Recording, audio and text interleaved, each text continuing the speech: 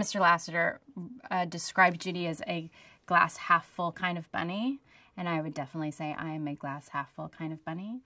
And in fact, when I when I was cast, um, I came in and I know that Jason Bateman has a very similar story. I came in and had a plethora of voices to supply, and it was explained to me like, no, we cast you to be like to a certain extent we want you to bring you to this.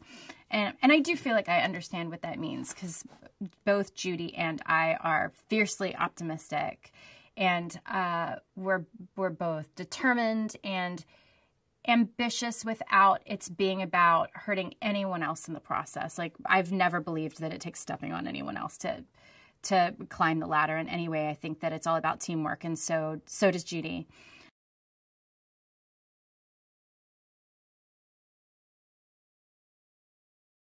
Nick Wilde is a wily fox.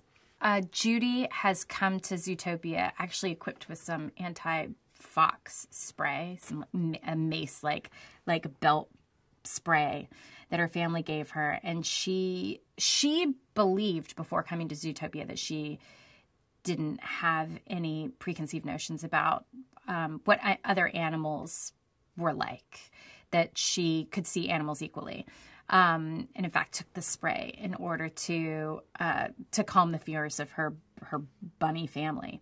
Um, but finds when she meets Nick that that she naturally responds because of the way that she was raised, and jumps to the conclusion that uh, Nick is sly and um, scamming and unfortunately that actually ends up being true.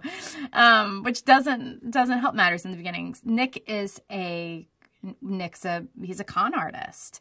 And judy finds that he is a very useful con, con artist. And she can very honestly and without manipulating him but but using um, a bit of good old fashioned blackmail, finds that she can uh, elicit his help in solving a mystery.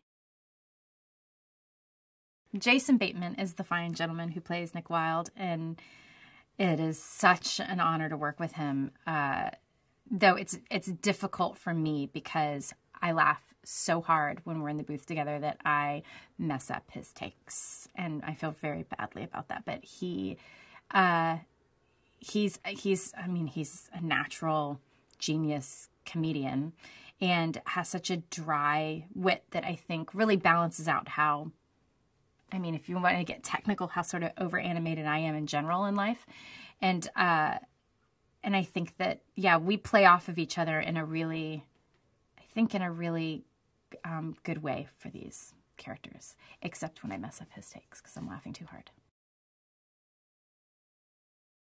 Everyone keeps calling it a buddy comedy. I'm like, it's a bunny comedy.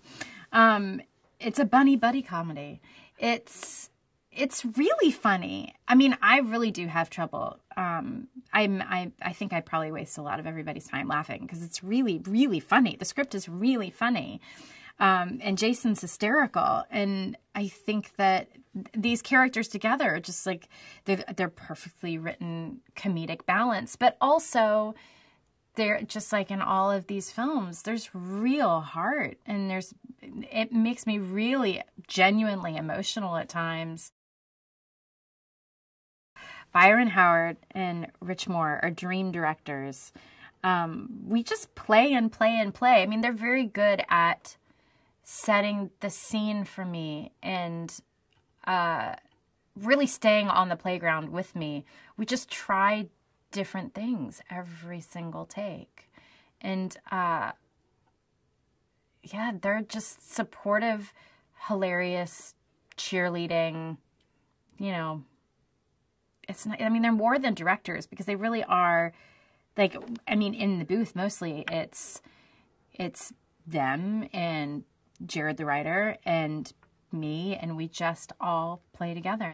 It is a comedy and it is action adventure, but I mean, I cry when I read it. I think it definitely has that that that it has that Disney heart. It has that hook and there are so many layers of meaning that I can see how a child will enjoy it, but I am positive that a lot of the references for adults are going to go over their heads and mean a lot to the to the grown-ups in the audience.